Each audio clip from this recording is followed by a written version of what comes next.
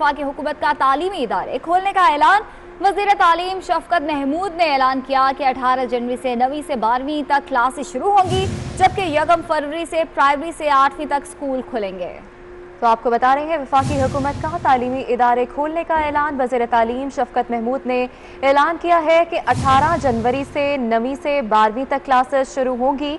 यकम फरवरी से प्राइमरी से आठवीं तक स्कूल खुलेंगे।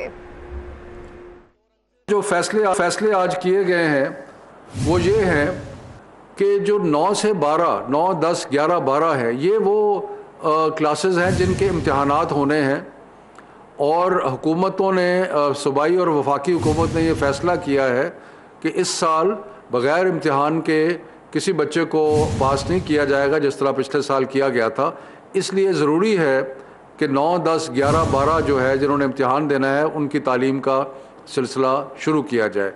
तो इसलिए 18 तारीख जैसे कि पहले फ़ैसला किया गया था 18 तारीख को 9, 10, 11, 12 जो है वो खुल जाएँगे और उनका तालीम का सिलसिला जो है इम्तहान के नस्बत से वो शुरू हो जाएगा।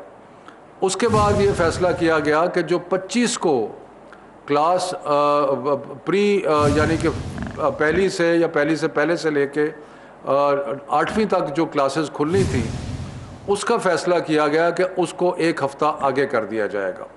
यानी कि अब प्राइमरी और सेकेंडरी वन और जो प्राइमरी और सिक्स सेवन एट है, वो बजाय 25 के खुलने के, वो अब हमने इरादा किया है कि वो फैसला किया है कि वो पहली तारीख को खुलेंगे। उसके बाद जो हायर एजुकेशन इंस्टीट्यूशंस हैं जिसका पहले ही फैसला पहली फरवरी को हुआ था वो भी पहली फरवरी को खुल जाएँगे। सो मैं दोबारा रिपीट करता हूँ कि 9, 10, 11, 12 जिस तरह पहले फैसला किया गया था 18 तारीख को ही खुलेंगे सारे स्कूलों में। और जो क्लास वन टू एट है वो अब बजाय 25 जनवरी के वो फ़र्स्ट फरवरी को खुलेंगे और जो हायर एजुकेशन इंस्टीट्यूशन जिनका पहले भी फैसला हुआ था, वो भी फ़र्स्ट फरवरी को खुलेंगे। अब इसके साथ साथ कुछ और चीज़ों के बारे में भी तफसीली बहस के बाद फ़ैसला हुआ है।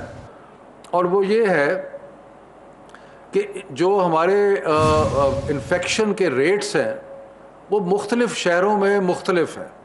बड़े बड़े जो सेंटर्स हैं पॉपुलेशन के लाहौर, कराची पेशावर, हैदराबाद, वहाँ पे ज़्यादा आपको इन्फेक्शन नज़र आती है और कुछ और जगह पे इन्फेक्शन कम नज़र आती है। तो अगले हफ़्ते